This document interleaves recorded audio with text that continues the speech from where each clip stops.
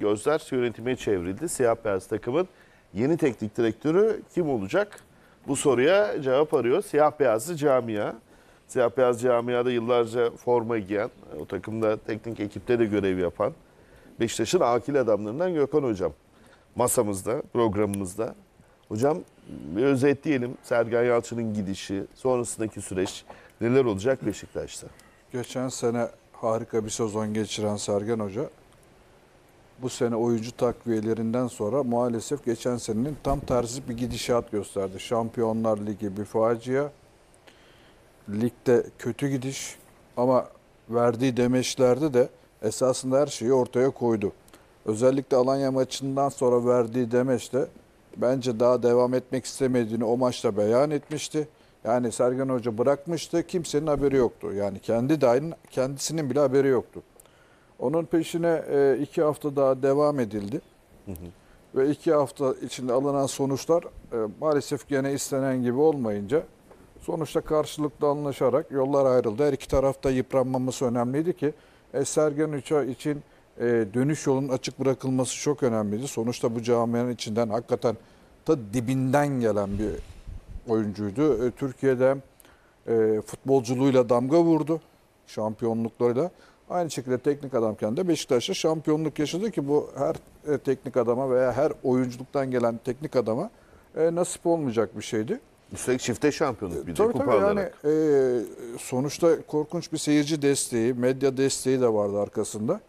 Ama e, basın toplantısında gene söylediği gibi yani sezon başında eğer bu sonuçları alacağımızı söyleseler kimse inanmazdı. Ben de dahil diye bir şey vardı. Hakikaten kötü gitti. Kimsenin beklemediği kadar. Şimdi gelinen noktada e, yollar ayrıldı. E, zannedersem e, yeni bir teknik adam arayışı var ve Ceyhun Kazancı işte sportif direktör pozisyonda e, bir e, yabancılarla, yabancı hocalarla görüşme e, furyası başlattı. Erkence Daniel Farke ile işte Norwich'i geçen sene çıkarmıştı. Ama bu sene Norwich küme düşme potasında hatta şimdiden ilk yarı bitmeden neredeyse küme düşmeyi garantiliyordu. E, gidip bu hocayla konuşuyor yani baktığınız zaman Doğru isim mi? nasıl bir doğru Gerçi isim? kabul Yani- etmediği yönünde haberler geliyor.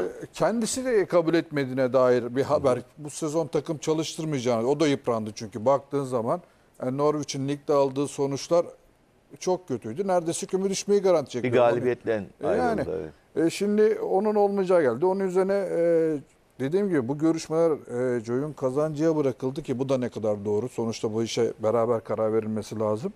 Onun peşine e, bir iki tane yabancı isim geliyor. Bunun yanında yerli isimler devamlı şekilde telaffuz edilmeye başladı ki bunların Başta Rıza Çalınbay'ın. Tabii yani e, Rıza Hoca şöyle diyeyim.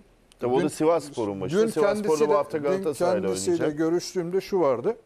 E, senelerdir yardımcılığını yapan Bülent hocamızın, Bülent Albayrak'ın işte annesi vefat Allah etti. rahmet Bugün de cenazesi vardı. Sağ olsun. İşte cenazeye e, hoca konuştu ve İstanbul'a gelmedi. Düşünün yani senelerdir Bülent Hoca ile beraber takım çalıştırıyorlar. Bülent Hoca'nın annesinin cenazesine gelmiyor ki tek nedeni de bu şaibe olmasın. Dedikodulara mahal verilmesin. Yani buraya geldiği zaman herkesin üreteceği nokta şuydu bence de buydu. Ya işte cenaze bahane esas buraya işte Beşiktaş'ta görüşmeye geldi falan gibi ki Peki size ne dedi Rıza Hoca? e, bana dediğinde yani zaten bunun önüne geçmeye çalışıyor. E, bugün bu haberlerle anılmak kötü. Yani eğer Rıza Hoca hakikaten oraya hak eden işte 2005'te yanılmıyorsam Beşiktaş'ta bir teknik adamlık serüveni yaşadı. Sayın Yıldırım Demirören zamanı.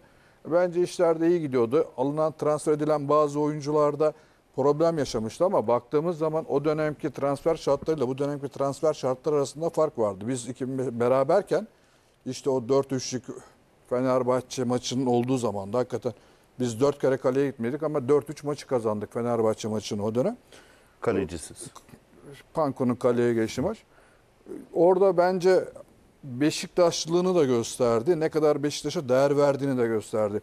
Baktığın zaman gelinen noktada Rıza Hoca hiçbir zaman bundan kaçmıyor. Her zaman Beşiktaş teknik adam olmak istediğini açık yüreklilikle dile getiriyor. Bunu bugün bilmeyen yok. Ha sözleşmesinde böyle bir madde var mı? Yok. Ama sözlü olarak bunu her zaman beyan ediyor. Burayı istiyor, Beşiktaş'ı istiyor. Giderken de ona da kapı açıktı. Nasıl bugün Sergen gitti, fazla yıpranmadı. Nasıl Sergen'e bu kapı açıksa Sergen, e, Rıza Çalınbay da bu kulübün o da en dibinden gelmiş bir oyuncu olarak bunu hak ettiği düşüncesindeyim ve e, özellikle hiç ara vermeden çalışması, gittiği Anadolu takımlarındaki başarısıyla bunu da hak ettiğini düşünüyorum. Ha, bunun yanında devamlı şikayetine gelen e, Şenol hocamız var, Şenol Güneş hocamız. O da herhalde şehir dışındaydı. Bir görüşme olmamış ama Ahmet Nur Çebi ile iyi bir ilişkisi vardı. O zaman da Sayın Fikret Orman dönemi devamlı şekilde işte Şenol Hoca ile ilişkiyi Ahmet Nur Çebi'nin başkanın sağladığı konuşuluyordu. E şimdi öyle bir e, ortam da var. E, Şenol Hoca boşta. Gelişmeler herkesi meraklandırıyor ki e, bak şu ortamda kim olacak? Bence bu hafta oynanacak maçtan sonra şekillenecek. Henüz net bir isim bence yok. bence yok. Yani şu anda ortada devamlı araştırılan bir isimler var. Sonuçta herkes bir nabız yokluyor. Ee, görüşmeler yapılıyor. Bence bu yönetici bazında da var. İşte sportif direktör bazında da var. Ama sonuçta bu işi ivedilikle çözüme ulaştırması gereken şeyler. Bu haftayı Kayseri maçını pas geçtikten sonra önümüzdeki Fenerbahçe derbisinde Beşiktaş takımının başında yeni bir teknik direktörle göreceğimizi düşünüyorum ben. Süre de kısa hocam. Hamdi hocam derbiye kadar. İkinci Şenol Güneş dönemi olur mu hocam? Oradan başlayalım. Yani Şenol Hoca bilmiyorum bazen yorgunum çalışmak istemiyorum gibi söylemlerde bulundu. Ee, ama bence iletişimin bu anlamda yönetimin iletişim anlamında kuracak olduğu en kolay isim olduğunu düşünüyorum Şenol Hoca. Yeter ki o çalışma enerjisi. Gelen bilgi resmi ya da gayri resmi Kendinde. temas olmadığı yönünde Şenol Hoca ile benim edindiğim bilgide. Yani Şenol- muhabirlerimizin aktardı. Yani Şenol Hoca'nın tabii ki yani e, hem çalışmışlığı Beşiktaş'taki hem çalışmışlığı hem başarısı birazcık Şenol Hoca'yı o konuda daha da e, Doğal bize yakın olarak- hale getiriyor. bize yakın olarak e, görüyor Beşiktaş camiası olarak. E, yani ben başkanın çok zor durumda kaldığı dönemde e, sanki Şenol Hoca'yı elde edebilir diye düşünüyorum. Rıza Hoca'nın pozisyonunun ben şu an çok değişmesinden çok yana olduğunu yani yana olduğunu ben çok fazla e, zannetmiyorum. Yani e, bir, bir, bir, bir karmaşıklık daha yaşar diye düşünüyorum. Aslında tabii ki Beşiktaş'ı zaten Gökhan Hoca özetledim. Ya ben kendi e, fikrim yani şimdi bakıldığı zaman 15 hafta geriye gittiğimiz zaman Süper Kupayı ve Türkiye Ziraat Kupası'nı almış bir Beşiktaş. Evet kötü gitti.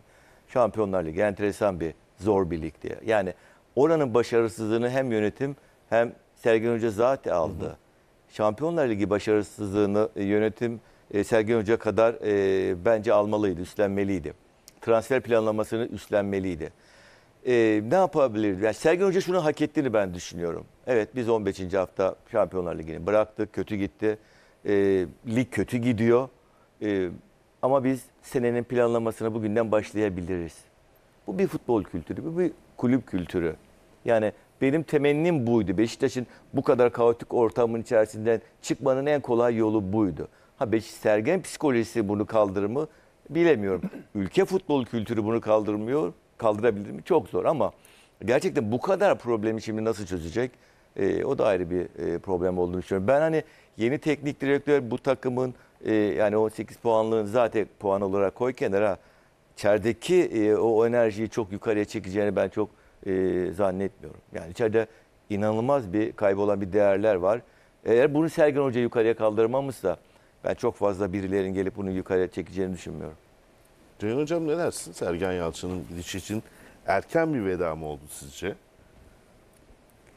Erken e, yani şimdi şöyle Çünkü hep Erken uzun de vadeli diyemeyiz. düşünülüyordu. Evet, erken bir terim değil. modeli diye e, bir örnek var ya e, Türkiye'de. ama bir de şu an Dünyada da Ferguson diyebiliriz. şahit olduğumuz bir gidişat var.